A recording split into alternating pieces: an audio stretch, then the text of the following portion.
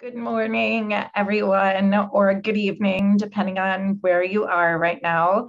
Um, my name is Laura Schramm, and I'm the Director of Professional Development at Rackham Graduate School. Um, we have two amazing student panelists who will be joining us today. Um, one of them, we are having a little trouble with their um, audio and video. They, they had to log out and hopefully they'll be logging back in but because we only have an hour together and we have a little bit of a presentation at the start, we are going to get started. So the goals of today's session are for us to just share a couple insights from the scholarship about graduate education on common challenges that folks face in transitioning to a graduate program. And we also are going to hear from a couple of experienced international students about how they successfully navigated their transitions and um, I'll be putting out some questions to them, but we also hope that you all who are here um, will feel comfortable uh, asking questions of our panelists too. So if you have questions about transitioning, this is um, the place to be. So Julie Posselt is a leading scholar in graduate education, and I'll be using her conceptual model of graduate education to frame our discussion today. Um, she has a model of the common challenges that graduate students face in their time in grad school. So today I'm going to walk through the um, common academic challenges that people face transitioning to graduate school. Next, I'll go over sociocultural challenges, which result um, from conflicts between our social and cultural backgrounds and the social and cultural contexts um, that we're in in our graduate studies. And lastly, I'll discuss two psychosocial challenges. And psychosocial challenges are about the interrelation between social factors on the one hand and our individual thoughts and behaviors. So I want to note that these are complex challenges and there may be combinations of academic and sociocultural and psychosocial domains, but for simplicity's sake, I'm going to talk about these three categories separately. Um, so first is academic challenges. Students often report that the academic challenge in graduate school is unlike anything they faced in their previous studies. And this can be very stressful for students who've gotten here because they have always been high academic achievers. Um, so the academic challenges really are rooted in subject matter learning, um, students have to develop and demonstrate the ability to engage in original field specific research. And often it's the first time that we're not just learning ab about our fields, but being asked to create um, an original contribution to the field. And students are expected to master their field, or for doctoral students, even advance the field once they've achieved mastery. So it's really stretching our capacities as students and scholars, academically speaking. So there have been many studies of graduate students at a single point in time, and um, Dr. Posselt's framework is grounded in those past studies. No scholar or group had previously conducted until very recently a multi-year study to track across time how students experience their graduate programs. And Rackham implemented such a study four years ago now, the Michigan Doctoral Experience Survey, or MDES is what it's referred to. Um, so we are in the fourth year of the study. We're past the midpoint and it'll span five years when it's complete. And the data from the study really illustrate what scholars already suspected about the challenges of transitioning to graduate school. So this is a finding from the study that relates to academic challenges. Our Rackham research on doctoral students finds evidence of decreased sense of self-efficacy due to the transition to graduate school. So what is self-efficacy? Self-efficacy measures students' confidence in their ability to learn and become independent scholars in their discipline. So we find evidence that the subject matter learning challenges negatively impact students' sense of self-confidence in their ability to be independent scholars. And this reflects what Dr. Posselt argues that the academic challenges are significant and very normal in your first year of graduate school. And you may feel initially like you're less confident than you thought you were coming into graduate school as you kind of tackle these new academic challenges. So next I'm going to go over sociocultural challenges which result from conflict between our internal states and the social and cultural context we're in in graduate studies. So um, there are often conflicting norms of challenge and support. And let me explain what that means. Um, US higher education is what uh, scholars refer to as an apprenticeship model, where faculty provide and then withdraw support to their students to help build their independence. So um, you may come from a place where um, faculty give tons of constant support um, to you as a scholar in the past. And in graduate studies in the US, faculty, yes, give support, but often withdraw that support in order to help students build their independence, which can be very challenging as um, for new students in particular. There's often um, also conflicting academic and personal values. So some academic values in US higher education are um, sort of publish or perish. In other words, you must publish your scholarship, um, what's called placing students in research focused tenure track jobs. So really the desire by faculty to see their students get jobs in places like where they are teaching. Um, so these are some of the values that you might confront in your home programs and among faculty. Whereas personal values might be providing for and spending time with one's family, giving back to one's community, a work life balance, and so on. And I want to add that values dissonance is even more pronounced for those from different nations and cultures, where our national um, or familial cultures might have very different values than the dominant values um, in academia in the United States. So, lastly, there are several psychosocial challenges, and that means factors that are at the intersection of our individual mindsets and our social context. Um, so, the first one of these is um, a term called imposterism. So, imposterism is a phenomenon where um, you believe in yourself as an intellectual fraud, and it often involves someone finding it very difficult to internalize their achievements.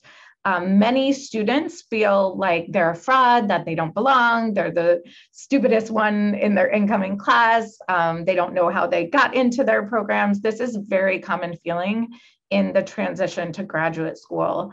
Um, and second are identity threats. So, what are identity threats? This just means students from historically marginalized groups um, can have the additional burden of bias incidents, microaggressions, or a lack of role models who share their social identities.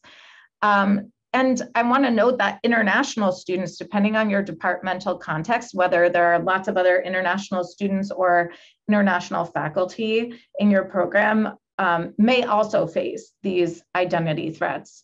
Um, so I just want to note that that these um, challenges too are interconnected. So the research shows that those from historically marginalized groups tend to also um, report higher frequency of imposterism. So when we don't feel like we belong or when um, we're constantly feeling threatened in our program, it's more common for us to experience a sense of being a fraud and not belonging um, and not being good enough.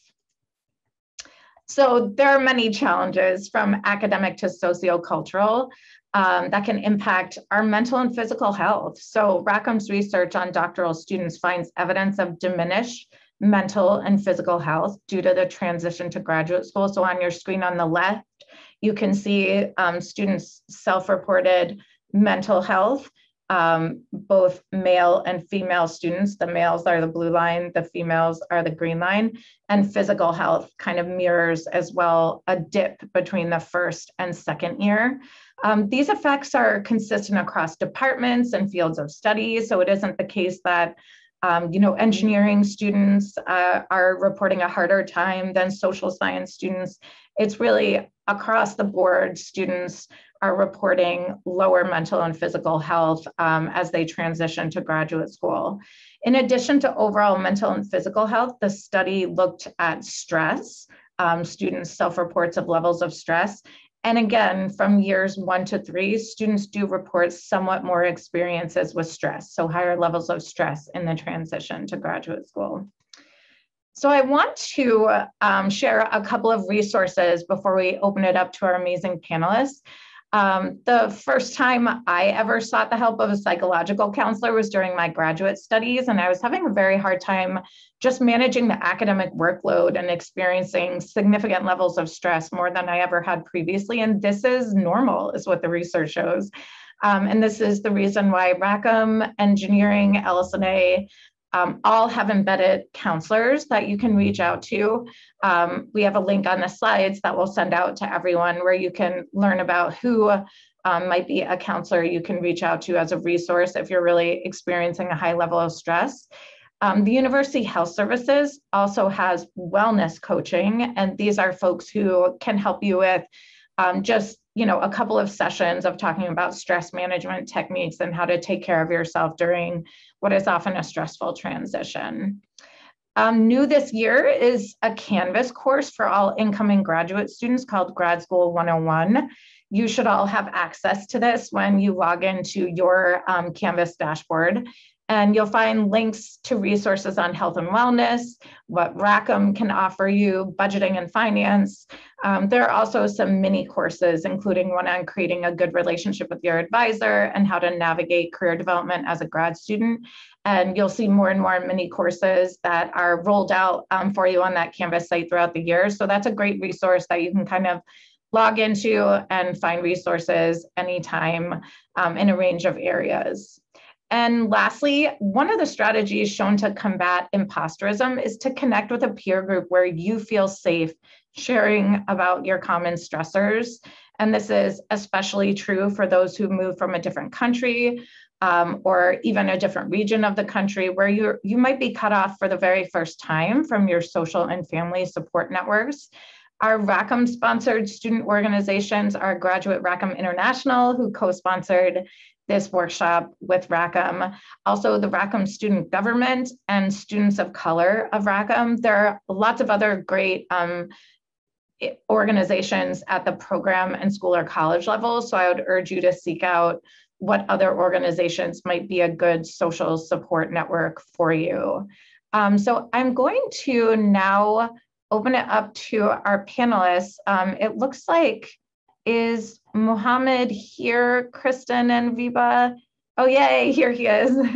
I know it sounds like he's had some challenges um, in terms of just getting connected. But um, Mohammed Abdullah is a mechanical engineering graduate student. He'll be one of our panelists. And Viva Vampala is in engineering education research. And the two of them, I'll put a, out a couple of questions to them, but then I encourage folks to um, put questions in the chat if you have questions for our panelists. Um, I thought it would be interesting to hear Viva and Mohammed um, just from each of you to tell us a story about your biggest challenge in your first year and how you faced it. Um, Viba, do you want to get us started and then I'll pass it over to Mohammed? Um, sure. Uh, thanks for the introductions, Laura. I so I I don't know if this is like the biggest challenge, but it was really it was um it was interesting to navigate. Um, so I did my bachelor's here in North Carolina, and then I transitioned to a program, a master's program at the University of Michigan. Um, and I and I didn't realize like there's a procedure to change from one university to another when you're on, on an I-20. Um, so every university has its own procedures and so that's like something that i had to familiarize myself with. So if anyone is like you know considering transitioning from um, undergrad to grad or like a master's to phd i would just you know in advance look at what your graduate school the procedure is. That it's not really difficult. It's just like you know you need to know that it exists and that you need to follow it. Um, so that was something that was like a little I, I was thrown off by it yeah, and we didn't even talk about that as one of the common challenges, but yeah, just navigating the policies, procedures, um, particularly for international students who have additional burdens of worrying about your visa and employment regulations. I think those policies and procedures can be a significant source of transition stress. Yeah, what about you, Mohammed? Hello, good morning, everyone. Uh, am I audible? Okay, great, perfect. Uh, I'm Mohammed Abdullah, as uh, Laura introduced. Thanks for having me over here. Uh, I'm in PhD mechanical engineering, but also now I'm a part of like environmental and sciences. And just talking about the biggest challenge, uh, I'm also an international student um, hailing from Pakistan.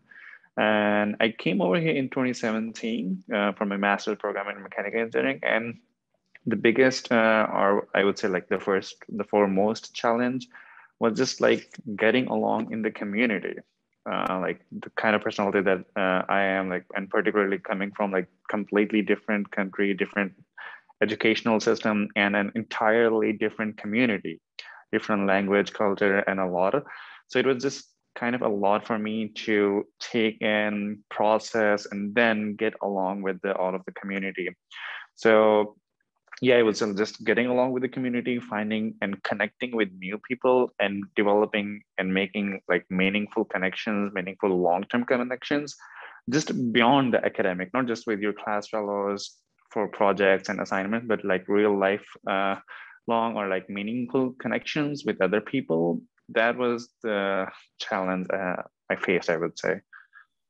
Yeah, and that really drives home the socio-cultural challenges that are, you know, double, triple for our international students. Like, you know, all students face these challenges, and yet it's much more significant when you're leaving all your social and family supports and just like you said trying to find community both in your program but also in the wider community in terms of your personal life whether that might be spiritual community or your interests and hobbies all of those things are really important. Yeah viva were you going to add something on that? Yeah i was going to add um, it's actually very important for you just for, for, your you know academic career or post academic career to um, really form meaningful connections in general. And i feel like it can be disheartening when in the beginning you know you don't feel like you're making as many friends or you don't know as many people. But i feel like over time you'll realize that like um, like-minded people you, you'll come together with them especially like you know joining uh, different student orgs on campus was really helpful to me because that's where you can see people with similar values um, outside of classes. So i would like recommend looking at what's out there based on your interests yeah, that's super helpful. Um, for each of you, and maybe I'll have Mohammed answer first this time. What do you wish you had known in your first year? Uh, yep, that's I'm pretty confident about is about the resources availability for all of the students and particularly for the graduate students. Uh, I don't think there is any segregation between undergrad and grad student, but in general, resources available for the students and particularly for your mental health and also including the physical resources like recreation building or like uh, other resources from the CAPS. Like one thing in particular I can mention is there's a, like a room in the Pierpont Commons where you can just simply go and relax yourself. There are like UV lights bulbs over there, like particularly for the winters, as it can get a bit depressing over here and the winter is coming. And there are some massage chairs as well. So the CAPS is really an amazing resource over here, I would say. So do look into that. Uh, Laura has already shared go through all of its resources and just go and use it. What about you, Viva? Um, I I love that you brought up CAPS because I there's also this thing called Wolverine Wellness, which I was like going through like a pretty bad breakup in the first semester, which is like um, you know tough to navigate with the, everything else. And you can just make an appointment and go talk to someone. And it, it's it's completely free. I, it's it's also like a lot of people might you know have stigma against like seeking out help for mental health but it's really like just like talking to some talking to like a impartial person and it, it can be very helpful especially when you are really overwhelmed with um, school and research and like other life stressors um, that's a really great resource and something else that I really found useful was um, you can rent equipment from the recreational um, center. So if even if like you know you don't um, you don't have your own like um, hiking stuff or bikes or you know whatever outdoor outdoor equipment you might need. Um, you can rent them and you can go out. Um, there, Michigan has like really great outdoor spaces. So I think um, those are like great to explore. See, this is amazing because I have been on this campus since 2003 when I started as a grad student, and I didn't even know you could rent things from Rec Sports. So um, I'm learning. I think it's a branch new. of yeah, it's a branch of Rec Sports. So just look up like rentals, UMich outdoor or something and yeah. it'll pop up. I um I just found it as you were talking. I was like, I didn't even know about this. So I just put a link in the chat. Yes, that's amazing. Um, what advice would you each give to incoming students? We have lots of them here today. If you could share a piece of wisdom, what would you say?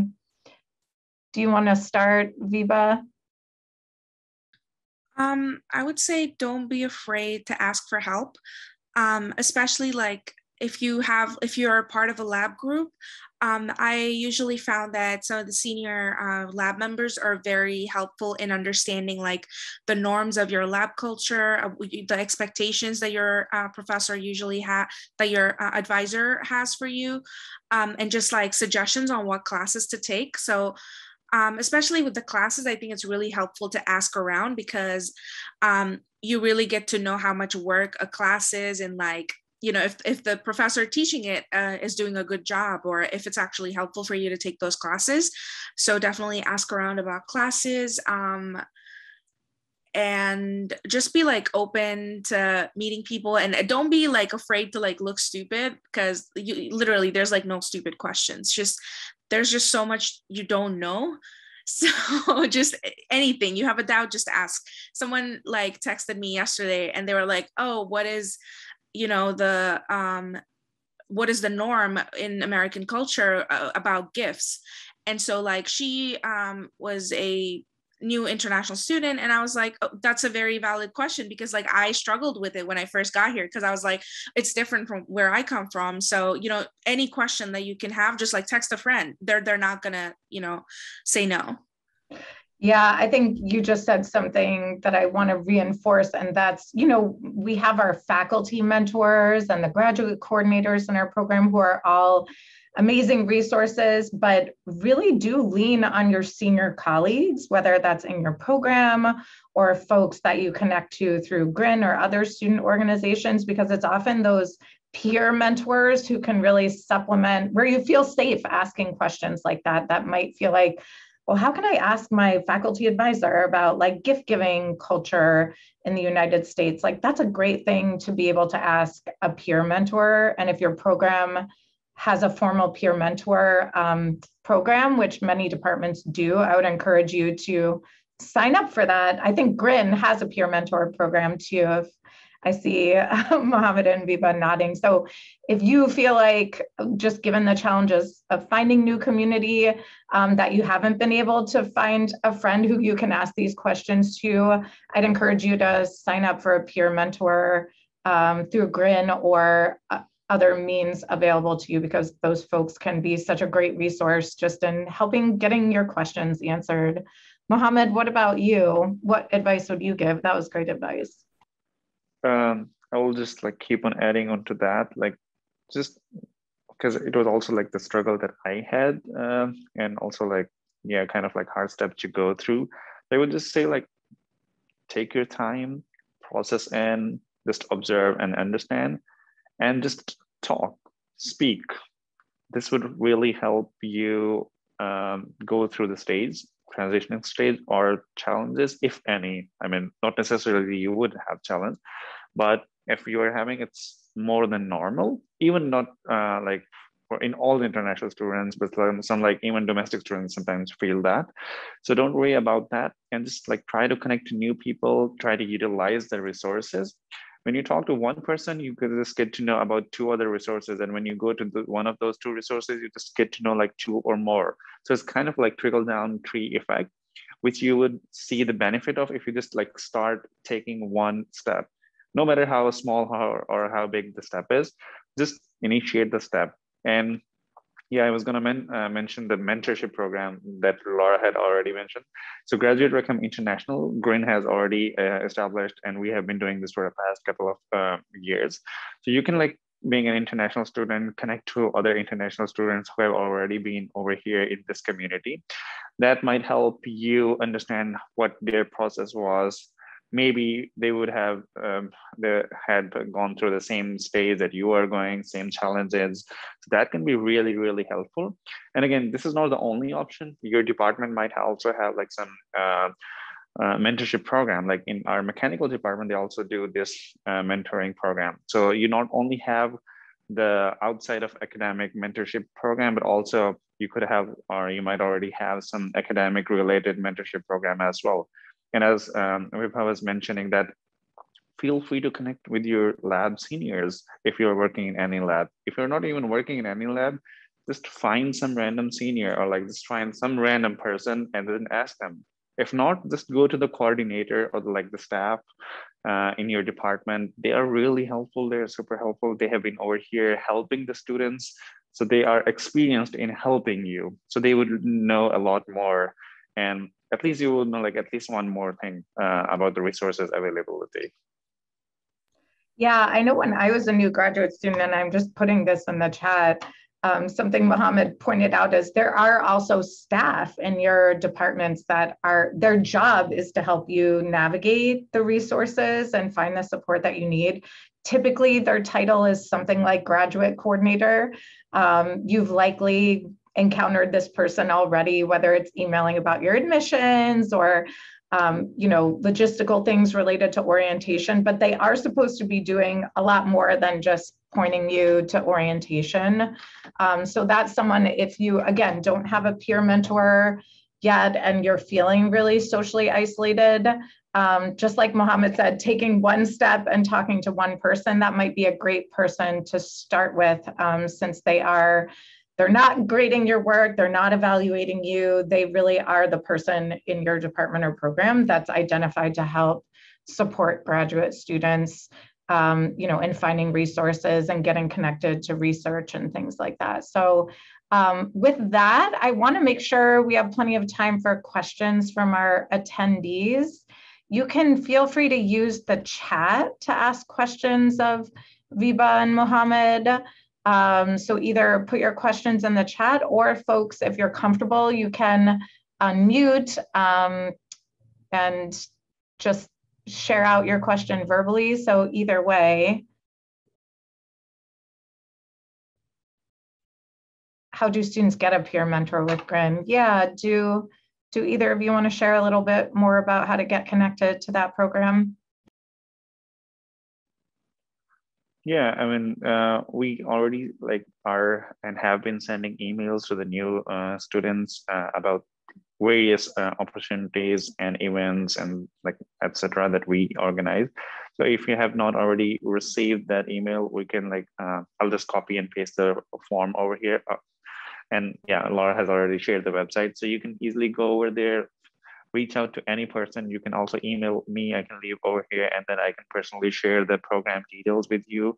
It's just a like simple form uh, asking about your program and background information and that should be it. And we'll be able to like peer with you with some uh, already mentor program. So yeah, just reach out to the green uh, at umich.edu and just shoot out a simple email that hey, please send us information.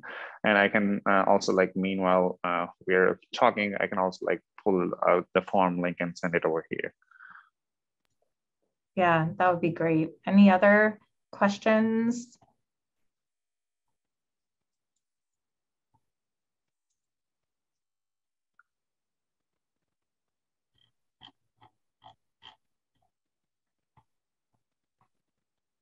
I always say the Zoom silence is more silent than regular silence. Um, oh yes, look, we have a grad coordinator here. So see Nicole is making sure that she knows how to support you all um, in her program. Any uh, other? Hello? Yes. Uh, yeah, uh, I have a, I, can I just tell my uh, you know challenges and share with you guys and see that. Yeah. Yeah maybe i can get some help. Yeah go ahead share. Yeah uh, firstly i'm a student a first year master student in biostatistics and um, um, i'm an international student from china and i don't have any experience in you know to study abroad so I think the most challenging part, firstly, is to understand what the teacher are saying in the lecture. You know, um, I don't have the experience to listen to a maybe two hours lecture, uh, and the whole time the teacher is just um, uh, give giving our uh, give our informations on some knowledge. So it is firstly the challenging part, and secondly, I think that I am struggling with my homework but um, it's not that hard but but it's very challenging to know what the teacher or the instructors really want you to do in your assignment. Yeah so i don't know their uh, experience uh, their ex uh, expectations for us uh, and how we will going to finish our assignments. And um, above that academic uh, parts, I think it is also challenging, although our department has a lot of uh, you know, students in my from my country, but it's um, it started to be competitive among you know applying for PhD or get a new job or something that we will face in the future. So it's very it is a little bit tension here, and everybody just want to you know get their road clearly be, uh, behind of them. So I think it made me a little bit stressful at this time. But um, luckily that these two uh, students, they share about how to, you know, about Wolverine Wellness and that CAPS thing, I think maybe I will try them and, uh, you know, just find my inner peace regardless yeah that stress. sounds very stressful i just want to name it sounds like yeah you're navigating like just the exhaustion of um, like being in an english language context full time for the first time like not having done this study abroad um, and you know maybe feeling like it's highly competitive with your peers where it feels less comfortable um, connecting to peers in your home program and on top of all of that, not being sure what that expectations are around assignments. Um, Viva or Mohammed, do you have anything you want to say? I have a thought on a resource, but I think you two are experts even more than me, so I'll let you share first. Uh, can I say something? Oh, so, yes. Yeah. so, hi, everybody. My name is Andres. I'm also a first year PhD student in uh, biological chemistry, and um, I, I I have the same feeling that the girl who was talking before than me. So I was a little bit insecure about my uh, listening ability during my classes. So something that I have been using is the, this uh, resource that I put in the chat, which basically uh, when the professor is talking, it's going to do the transcript for, for the class. So after class, you can check that that is something that I haven't using during these two weeks because I was kind of insecure about my listening. So uh, when the professor is talking, uh, it is doing the transcripts and you're going to have access to the audio and also the transcripts there. So you need to use just your computer and actually using your uh, email address from the university, you're going to have access to almost six hours of uh, recording. So you can use that to get the transcript and then you can study after class. That's something that I have been using because I have the same feeling. Mm-hmm. Yeah, that's great. So maybe, yeah, specifically on just linguistic adjustment, do either of you have thoughts related to that, Viva or Mohammed? Um, first of all, Andres, uh, thank you so much for this resource. Even like I did not know that. So thanks for that. But the thing that I've found helpful is reaching out to professor or the instructor, whoever you're in the class with, just telling them know what the issues are that you have been facing, be it just linguistic or simply you don't understand or follow the material. More likely than not, they would definitely do something, make some arrangements to help you. They can probably provide you the detailed description of what they are going to speak, what they are going to talk, maybe also share with you their slides with the notes in it if there anything uh, that's like that was only in one resource that I could think of, like just reaching out to them and then letting them know that hey, I've been sitting over here in class for past two weeks, but I haven't been following much of it. I simply do not understand. So maybe if you could try to speak slowly, if they have been speaking fast, or like this different thing, or anything that they could accommodate you with, uh, they can. Most likely, they would do that. Yeah, I was also going to suggest reaching out to the professor because they're usually very um, responsive to like, they want to know, like, if someone is having any kind of trouble or struggle in their class, they want to know so that they can help. Um, I mean, sometimes some professors like don't care as much, which is always, you know, uh, it's not a good feeling when you come across that. Um, but I noticed that like sometimes um, taking a fewer number of classes can also be helpful as you're transitioning especially because you have to like you know adjust to a new culture and kind of deal with like the mental load of that. So i think eight is the minimum amount of credits that you need to be enrolled isn't it like you need to be full time so if you can take like just the amount of credits you need to be full time maybe like you know to find ways to reduce like your academic load sometimes can be helpful as you're like navigating the early stages. I know I've always taken like with undergrad or any grad level, I've the first semester I've all, all, always taken like um, very little just because I wanted to um, involve myself more in like my lab or like other activities so I can like transition better. Yeah, I would add one last resource that you may already know about, but the English Language Institute um, is a resource for all students, even though some folks often see like, oh, it says LS&A and I'm in biostats, like I, I do I have access to that? And you do have access to it and they have lots of different programs from like workshops to conversation circles. So the conversation circles is one that again is just having informal conversations with someone who's not in your program who really cares about international students and just helping them with their speaking and listening.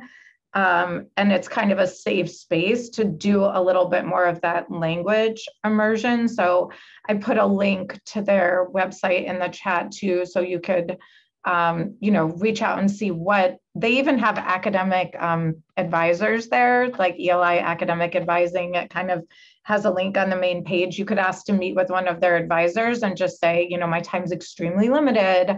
I'm a master's student. What are what like one or two things might be helpful for me related to just getting acclimated to listening for hours to like advanced um, because it's in your academic discipline too. So there might be, you know, highly advanced specialized jargon and terminology that some of the domestic students also aren't familiar with. So I would just name that like academic jargon is very different from um, conversational English, and that um, is normal, a normal academic challenge to adjust to. Um, and I, I do think um, one thing I wanted to emphasize that both Viva and Muhammad said is being able to talk to the faculty members. So what I heard about the expectations for assignments being unclear, um, look at when the office hours are um, for the course where you're feeling unclear about the expectations, and you can go to that faculty member's office during those hours. Sometimes students think, like, oh, if I go to office hours, that's a sign that I don't know what's going on and I'm I'm not smart. That's not what it is at all. It exists because many students need clarification and um, need to, to ask questions of the faculty member. And that's why all faculty set aside a period of time where you can come in and ask those questions one-on-one outside of class. So I would encourage you to take advantage of those office hours. That is very um, normal in United States higher education and often folks who maybe their faculty in their home country didn't do office hours or even you know folks in the US who are coming from public schools where teachers didn't do one-on-one appointments with students um, may not realize that that's normal and good to go to those office hours and say hey we have this problem set and i'm really unclear on how this is being evaluated and you know just bring that question in that safe space where you can during office hours. Um, yeah these are great questions. Did that answer your question Yidan?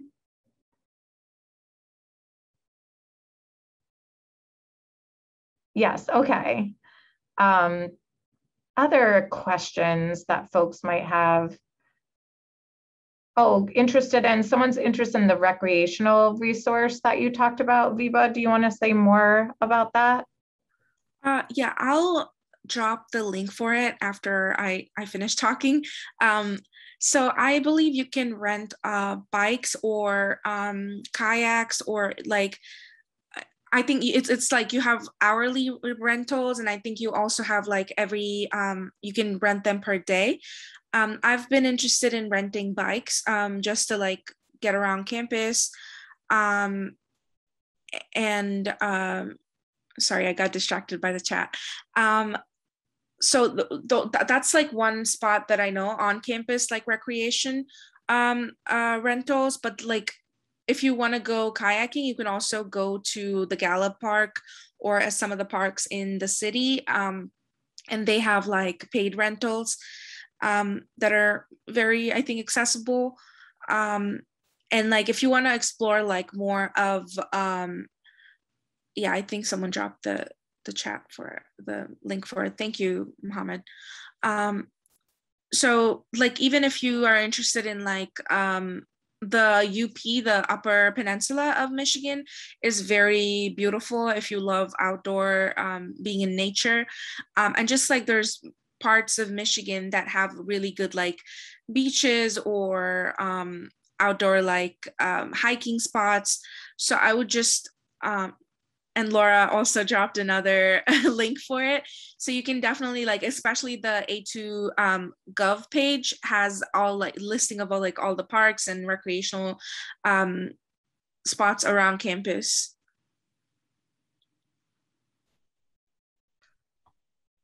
Yeah, I think um, there's just so many, um, like from the hyper local, this rec sports link, um, to what's available in Ann Arbor, to what both Viva and Mohammed put in the chat, like Michigan as a state has um, a really amazing state parks system. Um, so I, I can look up to the state parks information. Um, I find like the state parks, if you don't have a vehicle, that might be like a little more challenging to access, but kind of connecting with friends who might have a vehicle or renting something um, for to do something on the weekend. Just over this past weekend, I was in Holland, Michigan with my husband celebrating our anniversary and I fell asleep on the beach, which was awesome. So, and when I was a new grad student, I didn't go to West Michigan until my fifth year of graduate school and I didn't even know that there were beaches in Michigan. So I wish someone had told me. Actually, yeah, Holland also has a tulip festival. Usually, I think in um, midsummer, which is really pretty. If if that's something you know people like to see. Um, and also, I would suggest like there's a lot of winter activities to do um, in in the winter months. Um, and I think from the rentals that I mentioned, you can also um, rent skis and snowshoes. So um, another popular thing that I I didn't know this was a thing. It's like um, you know that thing where you walk in snow with the the skis. It's just walking. Like the snowshoeing, is that what you're referring to, Viva? Yeah, I I I I can't remember the name of like the activity right now. Yeah, I think it's snowshoeing yeah so it, it, i mean that's really fun i i was like oh we're just walking but you know i would definitely encourage um, people to like go out in the winter especially with like you know how um how like seasonal depression uh, can set in. Like it's really it's really helpful if you can keep yourself active and outdoors. Yeah, I noticed a follow-up question in the chat about are there any sources for brand new international students to explore Ann Arbor, like the city, local food attractions, local community sharing, similar backgrounds, etc. I think um, I mentioned earlier the grad school 101 um, site, and there is a page on there. Um, I'm, I'm clicking back to make sure I find the, the correct, um, but there's a link in that course that you all as new students should have access to. It's called the Ann Arbor community and there's, um, you can just kind of click through and see all the resources there related to exploring the, the wider community. Um, I don't know, Viva or Mohammed, if you have kind of just broadly good resources for people looking to explore Ann Arbor, more just the city and getting to learn more about the community and what's available? Uh, so what I did when I came over here, because I had like not so many friends, well, a few from community, so asking them was really helpful if they have been around over here for a while. And then I just went to like the City of Ann Arbor website. They have a lot of resources and good recommendations. Like I got to know about the parks over there, about the kayaking activities and so many other things that I did not know that even like my few of the seniors did not know existed. So do check that out, I would say. And again, maybe ask uh, other people who have been around over here. And also like, uh, we were mentioned about the Tulip Festival. So there's like Nichols Arboretum over here they also have like uh, peony garden over there so which kind of blooms and i guess in may or april somewhere.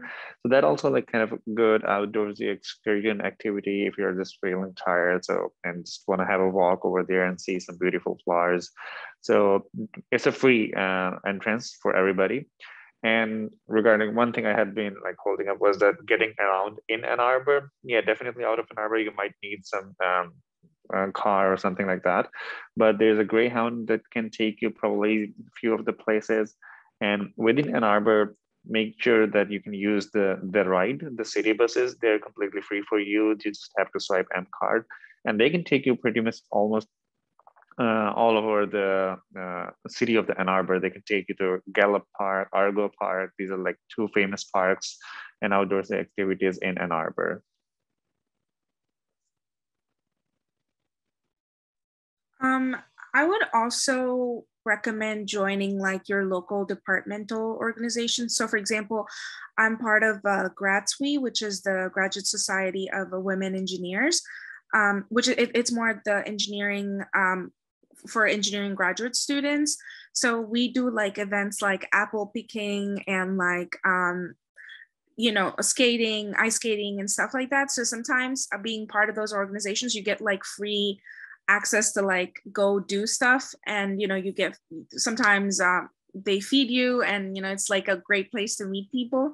So i would su- suggest checking out like you know organizations in your program um, and like more like department specific.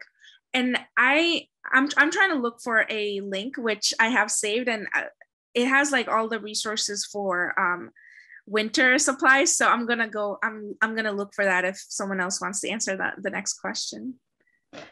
Yeah, Mohammed, while while Viva looks for that link, someone was just concerned about like what do I for people who haven't lived in a really cold place like this, what are some winter essentials? Um, yeah, so I attended this one, I'm attending this one class in environment and sustainability. And one of the class was just all about getting the resources around here. And somebody just mentioned, oh, I went to a store to get the winter jacket and it was thousand dollars. So I'm not going to get that. So yeah, don't feel like get overwhelmed about that. The key tricks over here that I have um, learned and generally everybody would recommend probably is just layering yourself up because like in the if you have already noticed uh, that within the construction buildings you might not feel that hot or that cold. Only if you feel like go outside you would feel like this intense winters. So layering can help you prepare for that. Just wear like two one or two layers and if it's too cold outside you can wear another. If it is not that cold inside you can just easily take it off And for buying the stuff, I would say like you don't really have to go to the super expensive stores. There are places uh, around like uh, I found Old Navy. Uh, there are like two different stores around here. I found like winter coat for like I guess 50 or 60 bucks. So I didn't have to pay for like thousand uh, bucks over here. So do try to that. There are some other stores like TJ Maxx. You might not have a huge variety over there, but you can definitely find good and cheaper stuff over there. So they're like, they also have two branches. So whichever is convenient and easy for you, just take the ride or the city bus over there. Uh, yeah, I mentioned Old Navy, TJ Maxx. There is Briarwood Mall as well, but that might be a bit like, uh, uh, could get possibly a bit expensive or not. So that's that. And yeah, there are other stores as well, like Marshalls, I guess, around here that you can probably check. But yeah, buying multiple layers, layering yourself would kind of like help you instead of just spending exuberant amount on just like one winter coat, which you might only be needing for like, I guess, one or two months, like which are the peak winters. So layering would definitely help you go through the longest period of the winters over here from October to like all the way till April or May. Viva, do you do you have additional thoughts on that? Um, yeah, I'm I'm so sad I couldn't find the Google Doc. So it's literally like a bunch of students that came together and put together a Google Doc of like the do's and don'ts. But I did find a good resource from the University Health Center that um, talks about winter survival tips. And I would say like people you know are will tell you it's terrible it's so cold and while that's all true you you can you'll be fine like you know you'll be able to make it so i wouldn't you know worry about like eh, worry or stress about it. Um like muhammad said like definitely layering helps a lot. And i think it took me almost two years to learn that. So definitely layer your life will change. Um and i think having a good pair of shoes is important is what i've noticed is more important than having a good jacket because um, there's like about a week or two where it, will be it'll be snowing a lot. So you have to probably trudge through the snow um, or like icy sidewalks. So i would just be careful with when the sidewalks are icy because that's more that's worse than um, actual snow.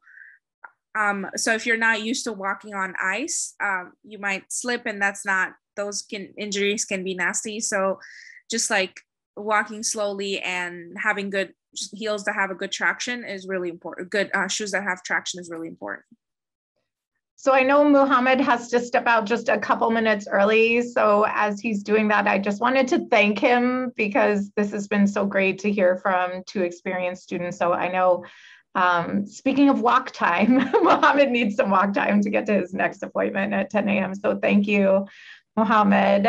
And um, I know Viva has probably time for one other question if folks have another question um, for our panelists. Bye, Mohammed.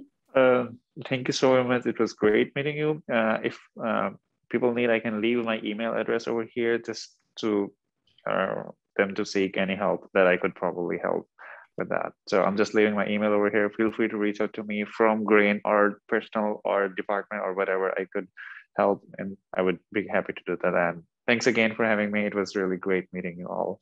Bye. Bye. Any final question that we have?